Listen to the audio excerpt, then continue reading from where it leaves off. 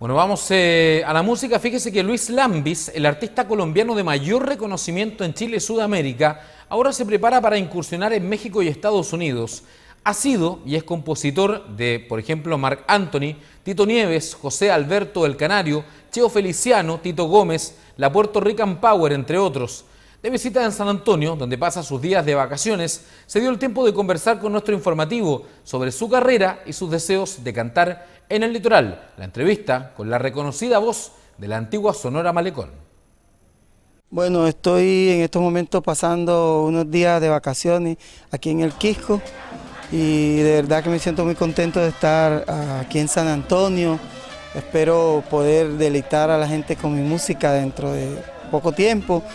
y no disfrutando y departiendo y viendo que siempre por donde paso mi música desde hace más de 20 años está sonando en este hermoso país, canciones que siempre han estado en el corazón y en el ADN del pueblo chileno, como María María, Pícara, Prisionero de la Soledad, Impostora, Obsesión, bueno, son muchos, muchos los éxitos que este país ha tenido siempre en su gusto y para mí es un gran placer estar desde el año 2011 en gira permanente eh, desde Colombia prácticamente en Chile todo este tiempo. Yo sé que es sorpresa, no te quiero complicar, pero me imagino que esta voz que nos ha hecho bailar tantas veces, pronto la vamos a poder escuchar aquí en el Litoral Central. Bueno, yo espero que sí, espero que en San Antonio